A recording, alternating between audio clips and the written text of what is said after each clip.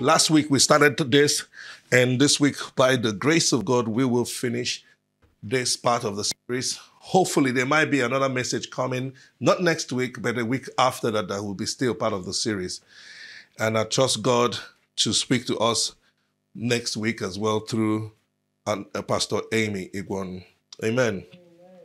Okay, now let's read together. Uh, we know that our verse. Let's read it together. If you can read with me, go. Jesus traveled through all the towns and villages of that area, teaching in the synagogue and announcing the good news about the kingdom. And he healed every kind of diseases, just like he just did right now, healing every kind. He's still doing the same. Amen. When he saw the crowd, he had compassion on them because they were confused and helpless, like sheep without a shepherd. And he said to his disciples, The harvest is great, but the workers are few. That's what we're dealing with. We've talked about the harvest is great. We are now talking about the workers are few. And in this message, what we're dealing with is how to bring in the harvest. In other words, how to become a worker. Amen. And then he says, So pray to the Lord who is in charge of the harvest. Amen. Ask him to send in more workers into the field. The question here is do we still need more workers? Absolutely. The population of the people, the, the harvest is growing every day. We have how many billion people in the world? Is it 8 billion? Yes. So we have about 8 billion harvest doesn't matter their religion, Hindu, Muslim, whatever, whatever they believe, their harvest. Even Christians are also part of harvest because at the end of the day, what we need is God reviving people, bringing them back into his life to experience his life and live also his life here on earth. Amen. So that's our text. We know this already. And I mentioned to us last week the question, who's the Lord in charge of the harvest? And we said it's the Holy Spirit. Now, when we say the Holy Spirit, we're not saying that it's not Jesus. We're not saying that it's not God. It's just that we, we're saying the Holy Spirit because the Holy Spirit is the one that activates us here on earth. And he's the one that lives in us now. And he's the one that is operating with us here. Doesn't mean, so if you have the Holy Spirit, you have God. If you have the Jesus, you have the Father. So they are all one God. So, and so we talked about that. And I also said to, uh, gave us point number one last week. And what was that? Anyone can shout it out if you remember. Point number one on how to bring in the harvest. Be led by the be full of the Holy Spirit, which simply means be led by the Holy Spirit. That's the first thing. You cannot bring in harvest without the leadership of the Holy Spirit. Okay? Jesus told the disciples, don't do anything, just go and stay. In few days, you will receive the gift of the Holy Spirit. You receive the Holy Spirit that the Father promised. And it's the same for us. And you saw that the apostles, the disciples, don't jump without the leadership of the Holy Spirit. Okay, I also mentioned that last week. I said the early church always prayed for the Holy Spirit to empower them afresh.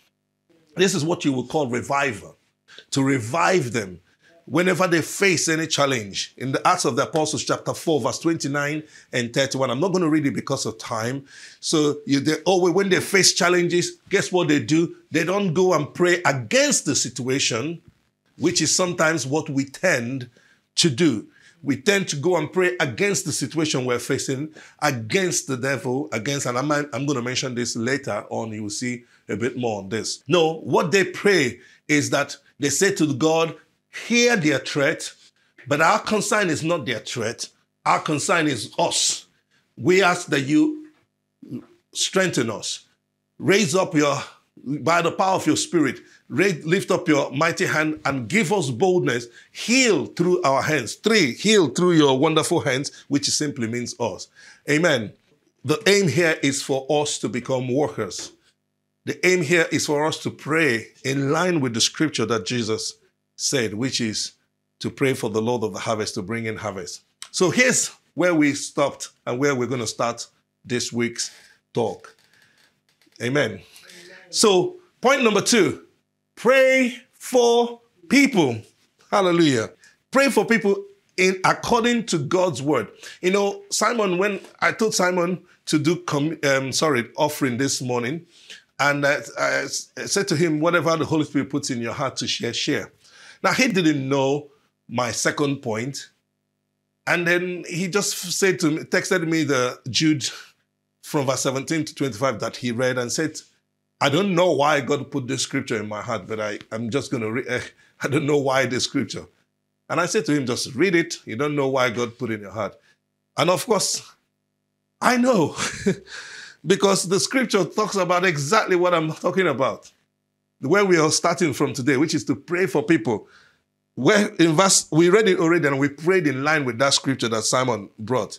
Verse 20 says, But you, dear friends, must build each other up in your most holy faith, doing what? Praying in the power of the Holy Spirit. But I like the word, it says, build each other up.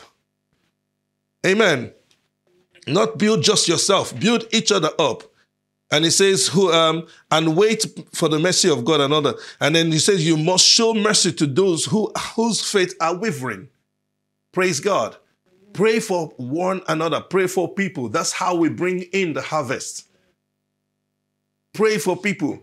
Jesus said, the harvest is great. Pray for people. Pray to God to bring in the people, to bring in the workers. The workers are people.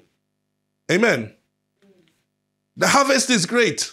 Pray that God will raise men and women. Is that think about that statement. Solution to the problem is people being activated by the Holy Spirit and released to the work of God. That's the solution to the problem. Many times we tend to pray for other things instead of praying specifically for people that are involved in those things. You know, this statement might sound, what? What are you talking about? I took a time to study this, okay? And I realized that majority of the time, Jesus prayed specifically for people, not the situation, not the condition, not the what is happening. For example, if there's a riot right now, Jesus will not pray for the riot, he will pray for the people.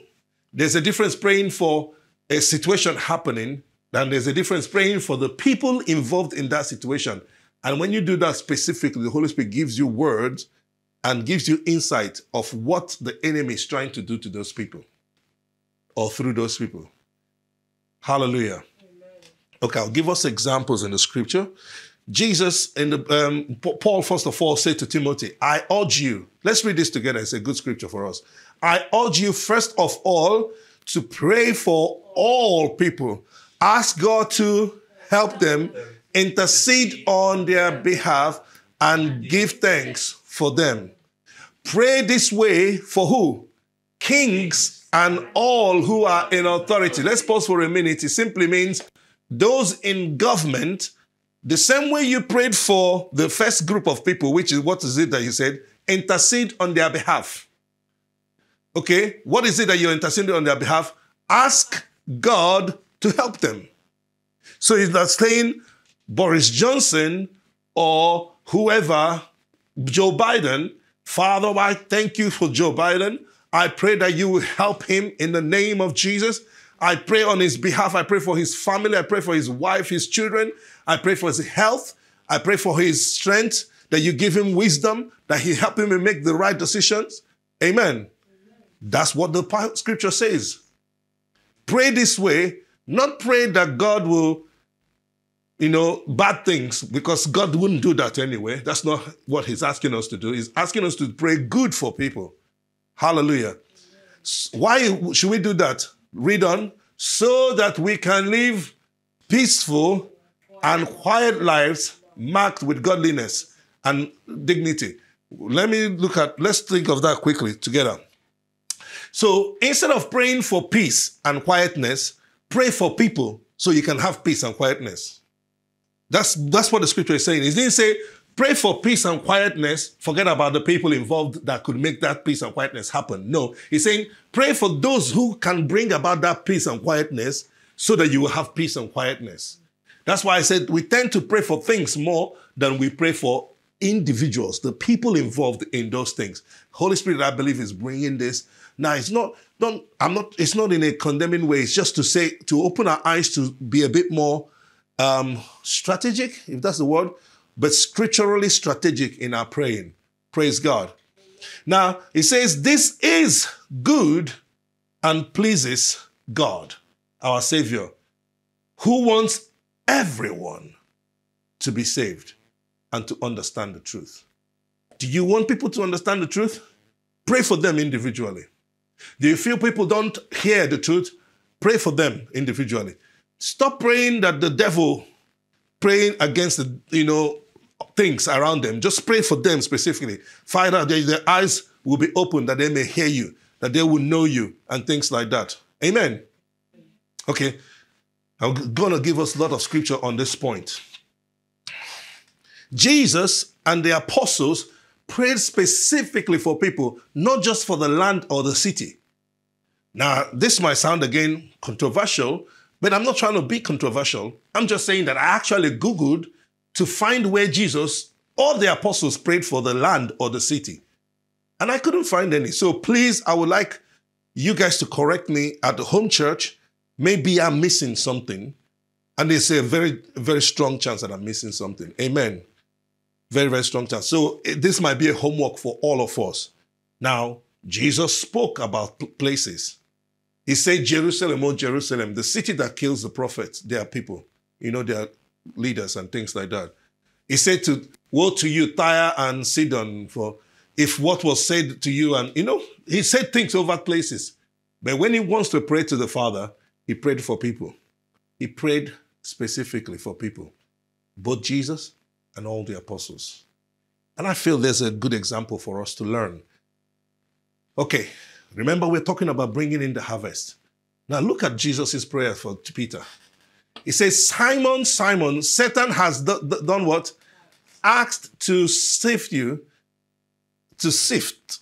Is that correct? Yes, sift yes. you, sift each of you like with. The word sift, let me just say quickly, dictionary meaning of sift like this. He says to examine something thoroughly so as to what? Isolate. You know, sifting means, uh, you know, where you separate the shaft from the, you know, the, the yeah, the lumps from the fine, fine bits. Thank you. Now, if it's Jesus that is sifting you, he's removing something that is not needed in you, isn't it? Yes, yes. Yeah, so that the good things can be kept. Now, when the Satan is trying to save, when a bad person is trying to save, what he's looking for is not the good. He's trying to take away the good in you so that he could isolate the bad things in you and expose it. But I like that word thoroughly to isolate. That's exactly what the Satan wanted to do to Simon. And that's exactly what he did. And Jesus, this scripture I find interesting. Now, Jesus said that Satan has asked to um, sift you, each of you, like wait. But I have prayed, and I have pleaded in prayer for you, Simon, that your faith should not fail. And when you are have repented, return to me again, and return to me again, strengthen your brothers. Now that made me think a little bit. I, I was thinking, if Satan is coming to ask for this, why shouldn't Jesus be rebuking Satan? Why shouldn't Jesus be casting out the devil and binding the spirit? Why should he just even entertain that conversation in the first place? No, he focused on praying for Peter.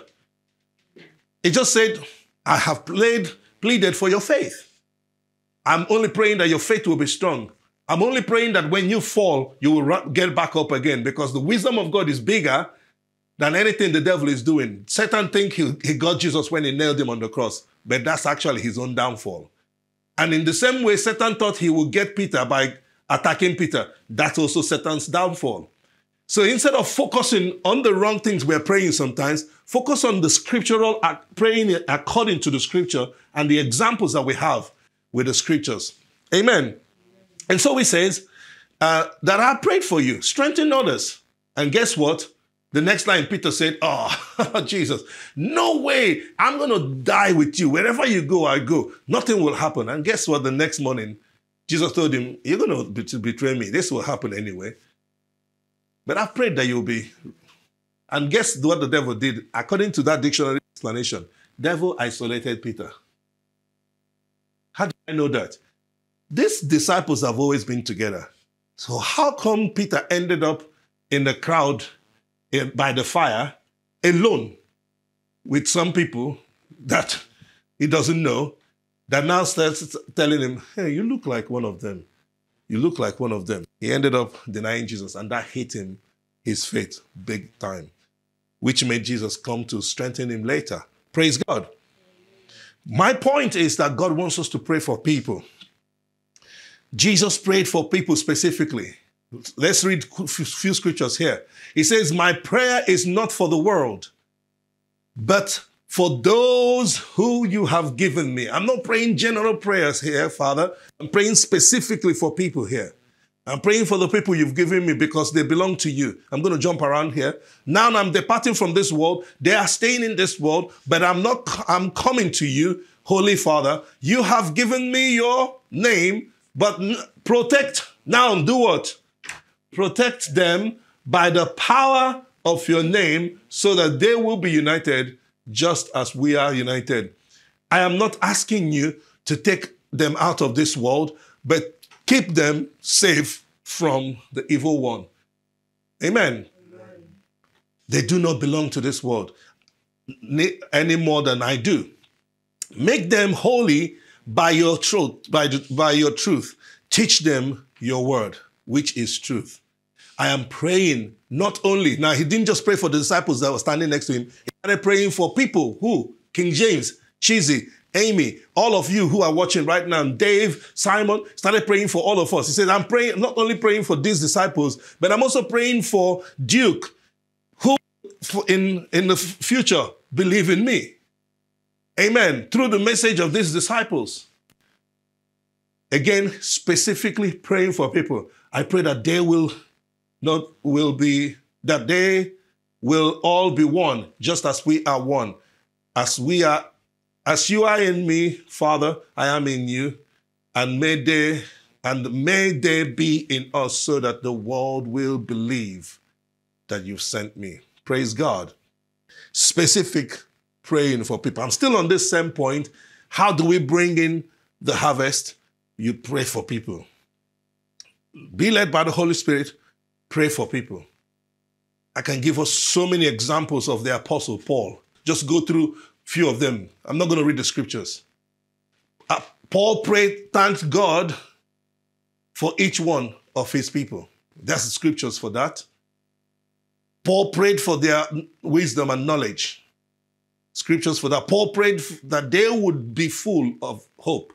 Paul prayed for that they would live in peace and unity. Paul prayed that they would be strengthened with spiritual power.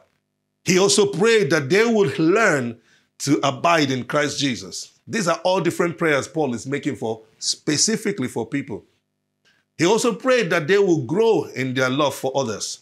He prayed for their righteousness and purity. He prayed that they would flow, overflow with praise and thanks to God. Paul also prayed for opportunity to be able to minister to these people. Take your time if you want, go through some of those scriptures. I wouldn't have time to read all of that. Point number three on this is share your story. Share your story. This is what makes you an authentic witness of Jesus. So let's say that together three points. Be full of the Holy Spirit in order to bring in the harvest or revival.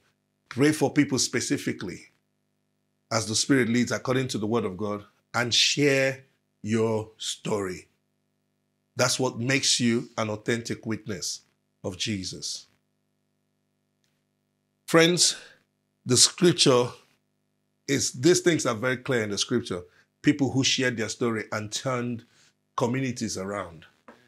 They shared their story. They didn't, they're not experts. But let me just show us one the scripture. Bible says in the book of John, chapter 10 and 9, many Samaritans from that village, from the village, believed in who? Jesus, because the woman said, had because of because the woman had said, He told me everything I ever did. Just think about this. Many, many people.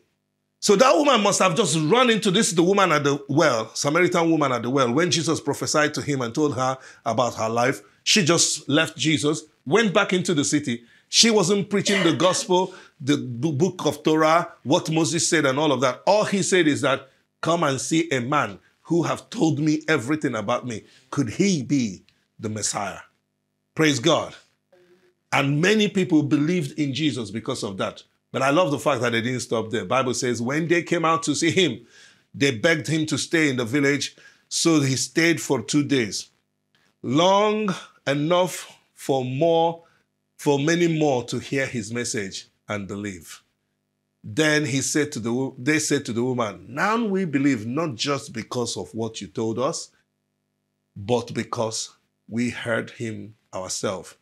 Now we know that he is indeed the Savior of the world. But how did this revival break out in, the, in Samaria?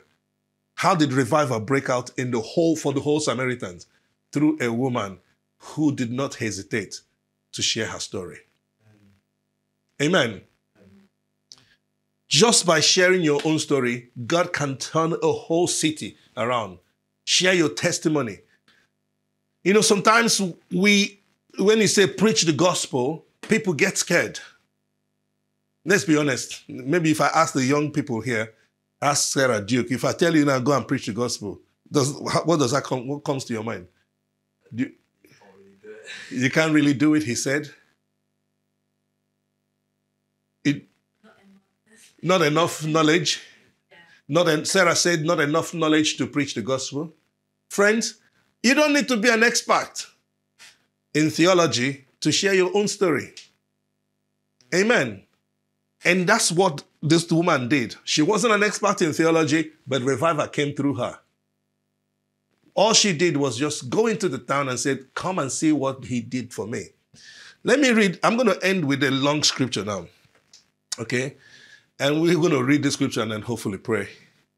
Because this story, I wanted to read the whole chapter, but I'm going to jump around just to save time. You don't need to be an expert. Sarah said sometimes when you say preach the gospel, you're thinking, but I don't know this, I don't know that, I don't know that. You don't need any of that. Any believer of Jesus can be a, an authentic witness. Can you say that with me? Any believer of Jesus can be an authentic witness of Jesus. Praise God. You don't need to know when he's coming back again, which year he's coming, which month. No. Mm-mm. And this is what stops many people from becoming workers because they feel they don't know enough. So they leave it for the pastors, the teachers, the evangelists to do the work. No, every one of us can share our story. You don't have to be on the high street to share your story. You have friends, don't you? Sometimes I say to my son, and sorry, Duke, forgive me for this. I say to my son, Have you invited your friends to what you're doing? Uh, mm, said, Don't you think what you're doing is important? Don't you think that, why do you think that they will not want to? Why do you assume? Why do you assume that they wouldn't want to be part of what you're involved in? Amen. And that's why we don't have workers. Why? Because we're thinking it's for the big guys, for the big boys, or for the big girls, or something like that. No, it's every single one of us. Favour House people, I'm speaking to you right now. Every one of you is a preacher of the gospel. Praise God. Every single one. No one is called to sit in the pews and enjoy. From the top to the bottom, from Soludo, from Sochika, all the way to the biggest person in this church, every one of you can preach the gospel. Jesus preached the gospel at age 12.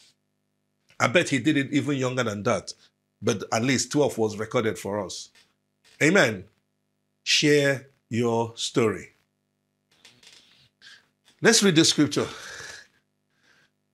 As Jesus was walking along, he saw a man who had been blind from birth. I'm going to jump around a bit, okay, just to save time. Then he spat on the ground. What I missed there is that the disciples asked, How is this man born blind? Was he that sinned or his mother that sinned or whatever? Jesus said, None of that. It's so that the power of God might be seen. Okay. Verse 6 Then he spat on the ground, made mud with saliva, and sp- spread. Eh? This is Jesus. Jesus, yeah. Jesus spat on the ground. Thank you, so. then Jesus spat on the ground, made mud uh, uh, with saliva, and spread the mud over the blind man's eyes. He told him, Go wash yourself in the pool of Siloam. Is that correct? Siloam means sent. That's interesting. So the man went and washed and came back seeing. That's a miracle. He was born blind, now he can see. Amen. His neighbors and others who knew him as a blind beggar asked each other, Is this the man who used to sit and beg? Some said he was, others said, No, he just looks like him. But the beggar kept saying, Praise God. The beggar kept saying, What? Yes, I am the same one.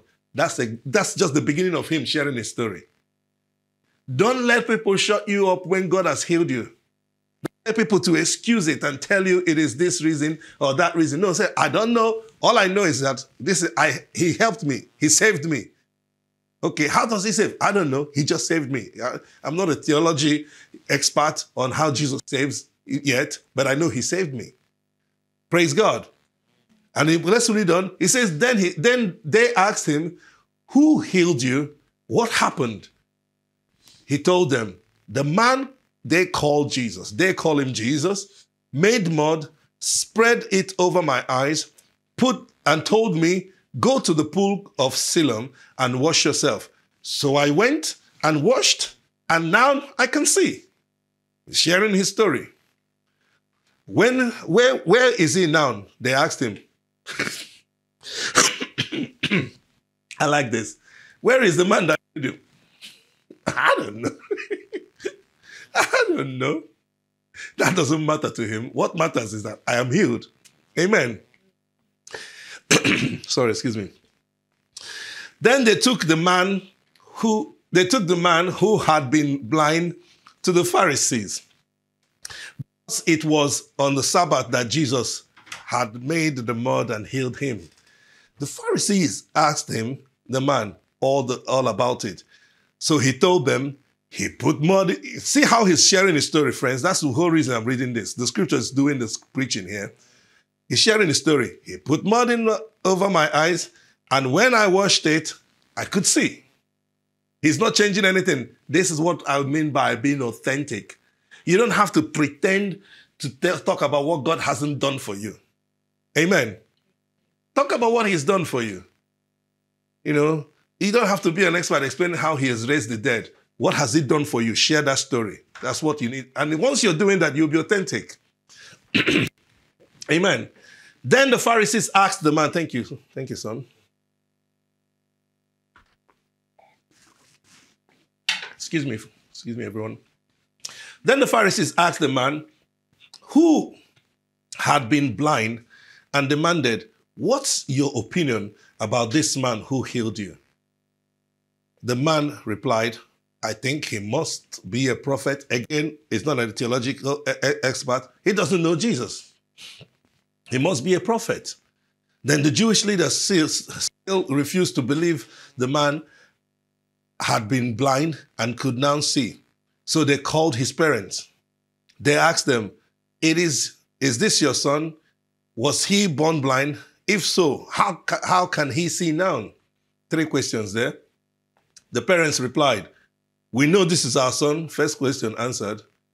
And, we, and that he was born blind. Second question answered. But the third question, they say, We don't know how he can see.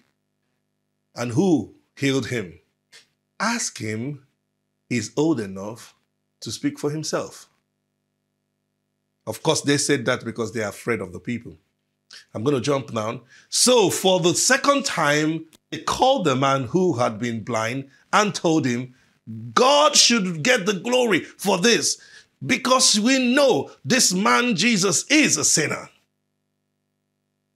I don't know whether he's a sinner. the man replied, But I know this I was blind, but now I can see. Praise God. That's that song there. Amazing Grace. How sweet the sound. I once was lost, but now I'm found. Praise God. I don't know if Jesus is this or that or this. What I know that I used to be full of um, turmoil in my heart. And when I gave my life to Jesus, I have peace. That's your story.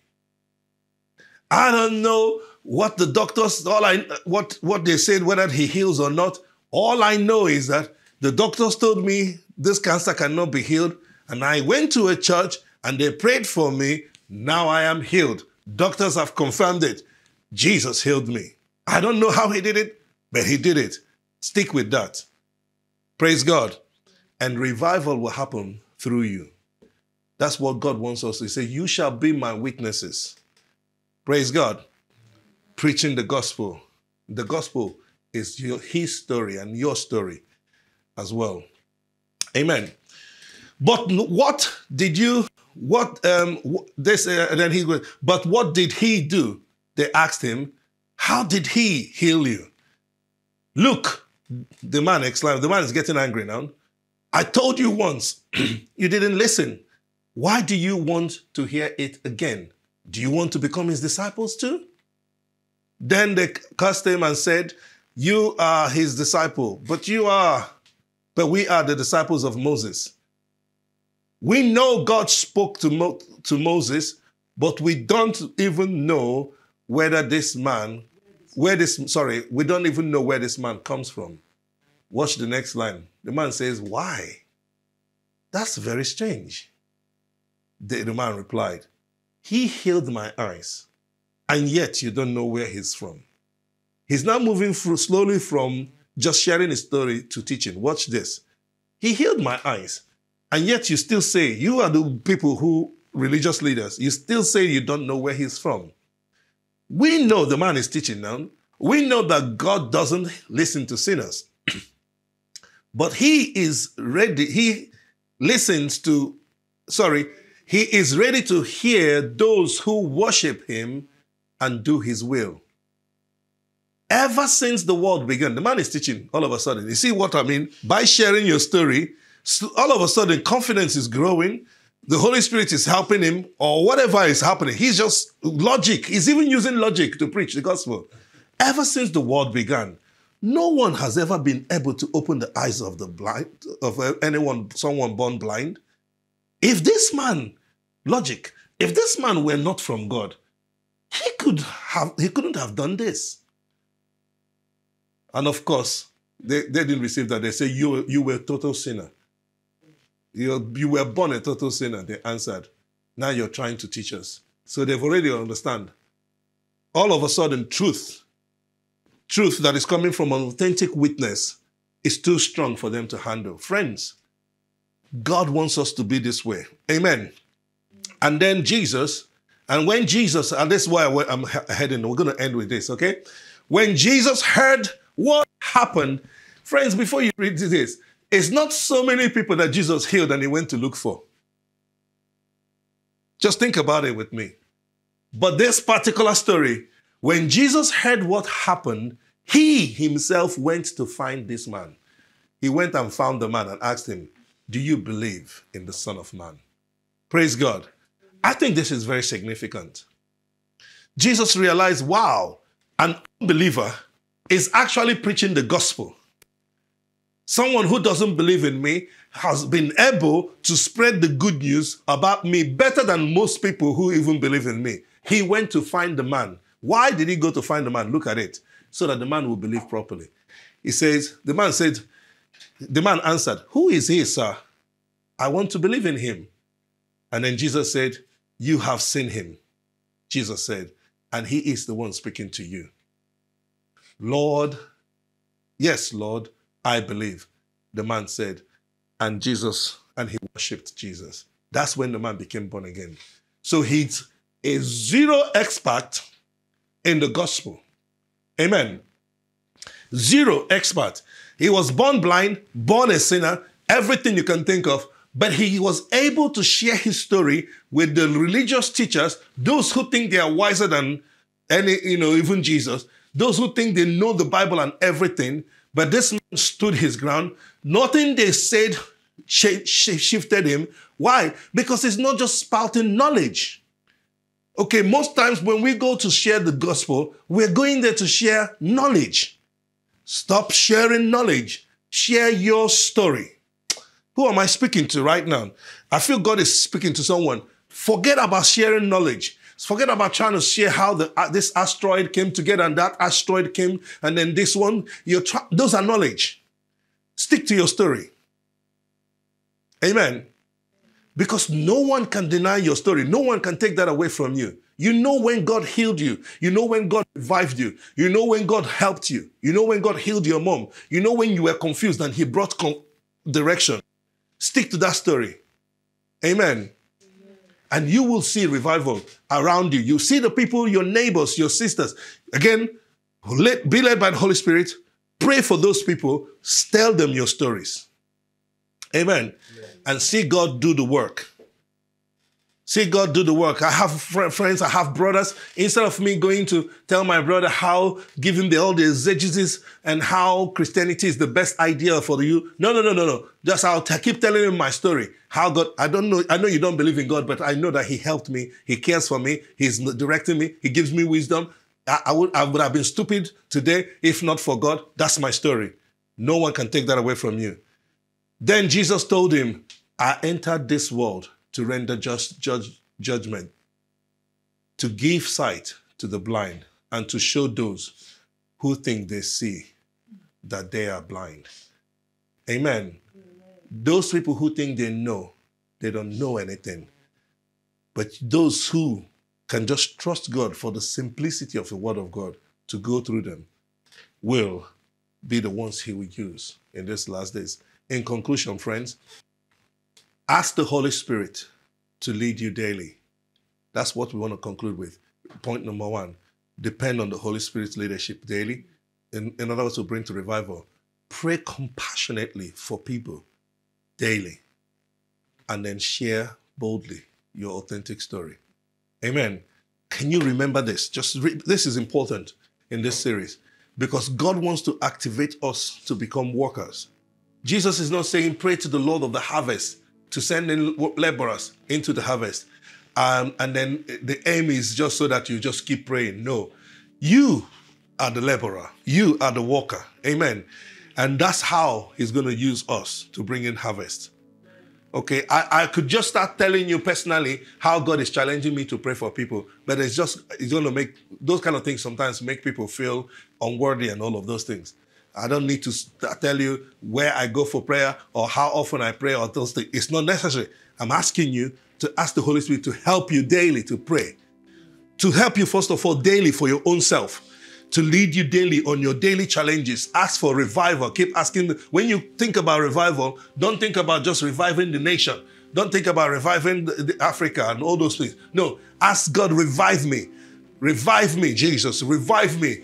Give, grant me that with boldness I will preach your gospel. Then pray specifically of people. If you want something to change in London, pray for those in London.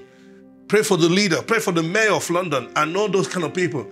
And then boldly share your story within your neighborhood, within the people around you, and see what God is going to do through you. The harvest is great, but the laborers are few. So, Father, we pray for laborers right now. In the name of Jesus. Why don't you just lift up your hands just as a sign of surrender with me? Just lift up your hands as a sign of surrender. Let's just pray together. Father, we pray, God, that you help us. Um, that as we step into a new season as a church, yes, a new season, a, a season of harvest, a season of revival, a season of, of your move and your outpouring and the things. It started with Limitless Conference, Father. I pray, God, that we, that you, that you help us individually to see our own personal responsibilities, our own personal responsibility in what you're trying to do. You're asking us to pray to you, Father, for laborers. And we pray right now that we want to be your laborers, God, in the name of Jesus. Revive us, Holy Spirit. Grant us that with boldness we will preach the good news, that with boldness we will motivate one another,